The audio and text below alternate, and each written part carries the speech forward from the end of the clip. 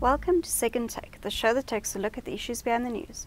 Sasol announced a big jump in the cost estimate for its Lake Charles Chemicals project, which is being built in the US. Terence Creamer joins me to discuss the development and what it means for the group. Hi, Terence. Hi, Chanel.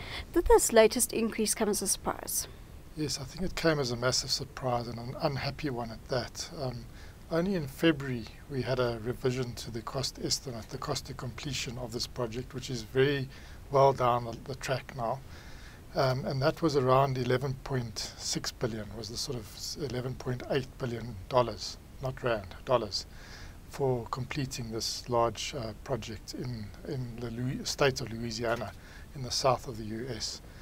And uh, only a few months later, there's now been a, a, massive upward revision by between $1 billion and $1.3 billion to complete this project.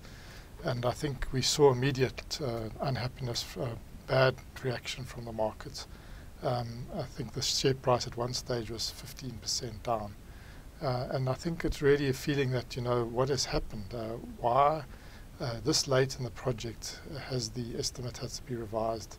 uh, so dramatically. And it's come down to sort of two elements, it seems. The one element being that uh, the project management team uh, seemed to get a lot of the figures wrong or didn't communicate these transparently throughout the group.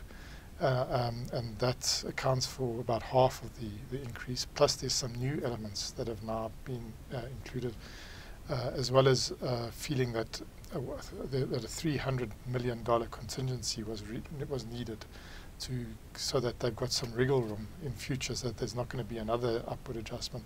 We must understand this project started out with a capital price tag of 8.9 billion back in 2014. So this has been a, a, a dramatic increase uh, and uh, one that the, the, market is not taking well. Uh, and it's a massive project for Sasol. So, you know, all attention has had to be, be on this project because it's a game changer.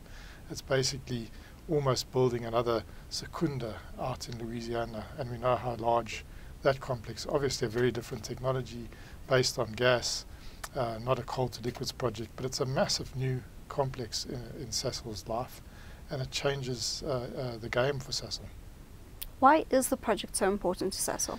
Well, really, it shifts Sasol from being this coal to link liquids behemoth. And now that was a sort of accident of history uh, it really was uh, South African apartheid, South Africa's response to sanctions and trying to be uh, oil independent. So uh, South Africa's got a massive um, uh, investment in converting coal uh, into liquid fuels. It's it's a unique sort of proposition in the world, and th that's been fairly successful for South Africa. About a third of our liquid fuels comes from coal but it comes with the downside of the uh, in the new era of uh, climate change and environmental consequences from burning coal. Uh, it's a very large uh, carbon dioxide emission uh, site in, in Secunda and Sasolburg. We've seen a transition to gas to liquids, uh, more and more gas coming into the system, which is a little bit cleaner for Sasol.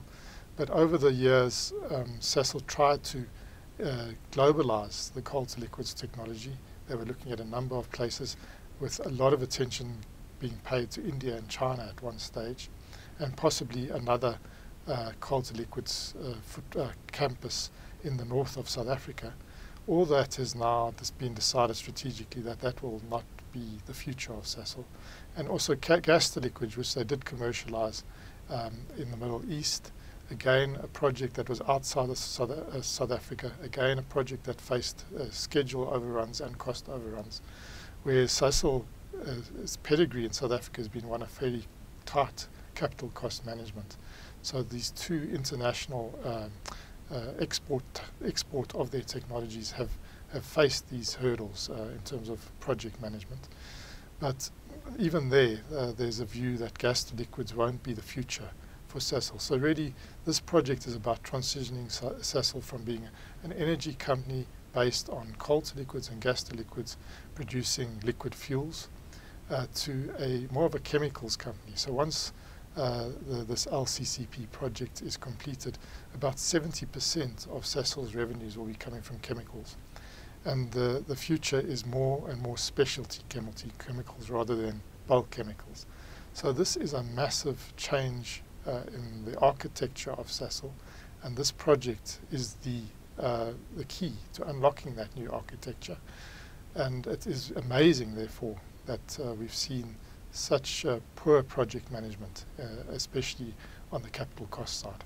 What's next for the group?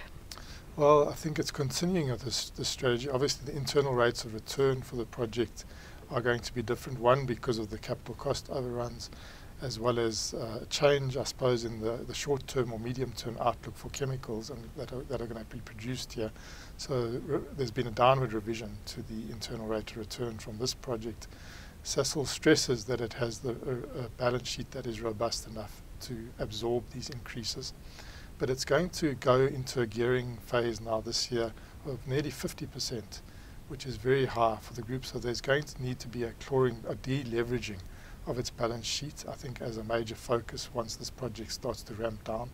And part of that deleveraging process is a focus now on cleaning up the structure in terms of the new strategy, which I said is going to be more about specialty chemicals, less about coal to liquids, gas to liquids, less about energy, more about chemicals, less about bulk chemicals, and more about specialty chemicals. So we're going to see an asset disposal program. Now, over the last year, Sasol's been reviewing its uh, portfolio of assets They've done it in a sort of a group of about 100 assets or clusters of assets. And they've now come to a decision that they can dispose of assets to the tune of about $2 billion. Now, Sasol hasn't disclosed the identity of these projects, but we do know from their strategy that refineries are no longer on their oil refineries are no longer on their radar. And we know they do have an oil refinery in partnership with Total in the Free State. So that's a possible asset that comes up for disposal. But we, don't have visibility yet of the, the full suite of assets that are going to be sold by Sasol over the coming months, probably 18 months or two, year, to two, two years um, or longer, that they're going to be disposing uh, these, uh, uh, these non-core assets. But we know what their focus areas are in terms of geography. It's going to be the US, Louisiana.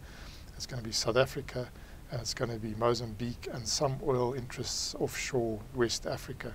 So I think, uh, but within South Africa and uh, in probably the European assets, there's going to be a disposal process that, uh, that uh, now takes place. And the proceeds, uh, as I said, I think are going to be very much about bringing down the high levels of debt on, on Sasol's balance sheet and uh, managing that uh, down uh, in, a, in a responsible way, in a way that's going to recover their credibility in the market, I think, which I think at the moment is at a, at a, at a low ebb. And I think there might even be a point where I think this, there's going to be one some sort of action, some visible action, some consequences uh, for those involved. We have been told already that the, the project management team has been restructured uh, at uh, the Louisiana site itself. And the, the head of chemicals, Fleetwood Grobler, is now having direct oversight. So there's a, a sort of a more direct involvement. But I still think there's a lot of unhappiness and probably some way to go before the market feels that this leadership team is credible again. Thank you. That's the Second Take show for this week. Thank you for watching and join us again next time for more news analysis. Also, don't forget to listen to the audio version of our Engineering News daily email newsletter.